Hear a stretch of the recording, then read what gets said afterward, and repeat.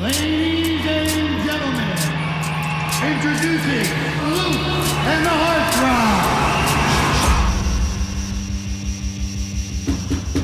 Is Romina here? Who's that guy? He's yours. Not gonna tell me. I heard from you in over a year. Just took off. My son and I should be around him. I wasn't around my dad. Looked the way I turned out.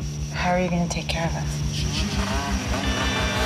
I can't think of another line of work that I'd rather be in. You're so smart. You can do anything you want. Just don't understand why you're doing this. I'm a cop, Jed. You got a kid?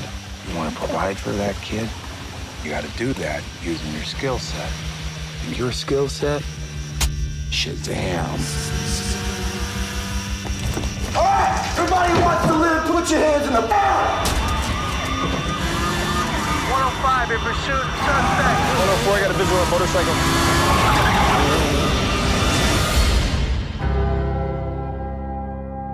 Tell him it's for me. I'm still his father. I can give him stuff. Hey, I'm Officer DeLuca. We're here to search your house. What for? We're looking for the money that Luke Glanton, mayor, may not have given to you. 14 grand. The lion's share is going to our hero.